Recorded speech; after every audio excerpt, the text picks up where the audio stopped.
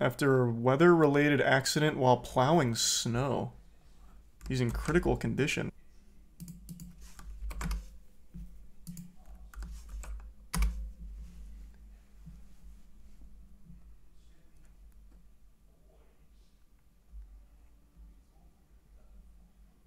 He'd been airlifted to a hospital.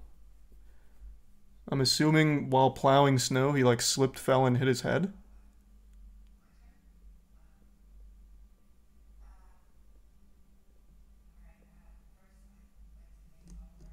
Uh, it's like the only thing I can think of. God damn.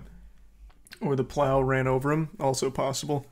Man, th- uh, this reminds me of a long time ago. I don't know how many of you remember this. I can't remember the actor's name now, but he was a big actor and he was just starting to blow up on the scene. He was in like Star Trek, he was in Terminator Salvation, and he had a freak death. He was, I think he was taking his garbage down and then like the wind blew the garbage can at him. He tripped and then he caught his head on the automatic gate as it was closing and it like decapitated him internally. Yeah, Anton. That was so fucking sad. That was a it was a fucking freak death. His Jeep crushed him? No, no, no, no. Wasn't it the uh he's the one that had the gate crush him, I thought. Am I mixing him up with somebody else? Let me see.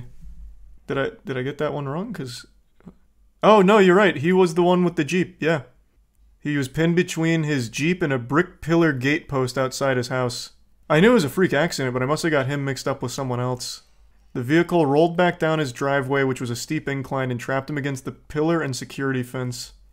Fucking horrifying. Who are you talking about? Anton Yelchin. He was a for for a while a big actor. He was in a lot of movies very quickly. I liked his work. I thought he was very good in all the movies he was in. What was he in? Well, like I just said, Star Trek, Terminator, Salvation. He was in quite a few other ones here, just like looking here. He was in uh, Fright Night remake. I don't even remember they made a new Fright Night. Yeah, he was in a lot in a very short period of time.